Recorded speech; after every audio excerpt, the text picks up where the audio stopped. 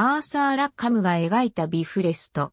ビフレストは北欧神話において神々が地上からアースガルズへと架けた虹の橋を指す。名前はぐらつく道を意味する。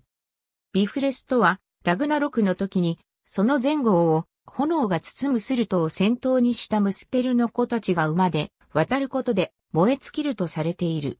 普段は門番のヘームダルが橋のたもとで番をしている。虹の色は外側が赤く見えるが、これは巨人たちの進行を防ぐために火が燃えているからだとされている。ギリシア神話にも虹の橋が登場する。虹の女神イリスは神々の使いとして虹の橋を渡って天地を行き来する。しかし彼女はヘームダルのような有力な神ではない。松村武雄は虹の神の性別、関連する神の重要度の違いにギリシャ人と北欧人の虹に対する考え方の相違が現れていると指摘している。コエッタのグリームニルの言葉第44節では、ビルレストという名の橋への言及がある。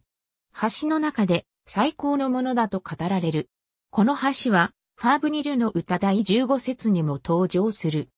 シグルズがスルトとアース親族の戦う島の名を質問したのに対し、ファーブニルは島の名前と彼らが渡った後に、橋ビルレストが破壊されることを答えている。どちらも名前と役割がビフレストに類似しているが、ビルレストが虹でできているとは言われていない。ありがとうございます。